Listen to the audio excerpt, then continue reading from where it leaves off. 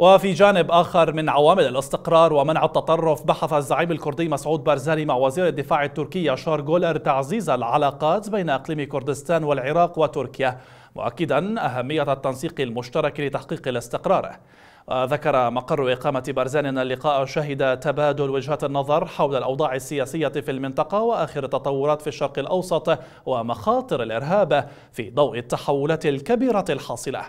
ويقول مطلعون أن العلاقات بين تركيا وأربيل وسليمانية كانت محورا خاصا في اللقاء الذي توقف عند المخاطر الكبيرة لتصعيد العمليات العسكرية ووجوب إبعاد استقرار كردستان عن تقاطع المصالح الإقليمية والدولية حيث الإرهاب يعد خطرا متحركا يهدد استقرار الجميع.